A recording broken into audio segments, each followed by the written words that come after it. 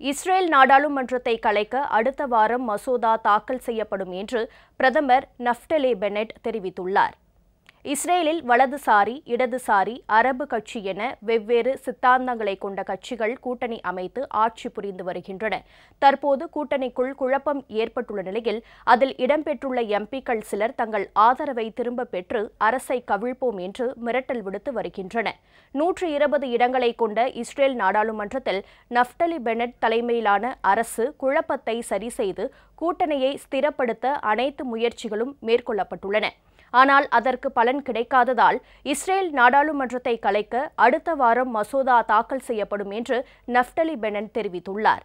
Israel நாடாளுமன்றத்தை கலைப்பதற்கான மசோதா தாக்கல் செய்யப்பட்டு நிறைவேற்றப்பட்டால் அந்நாட்டில் மூன்றே ஆண்டுகளில் ஐந்தாவது முறையாக பொது தேர்தல் நடத்தப்படும் சூழல் ஏற்படும்.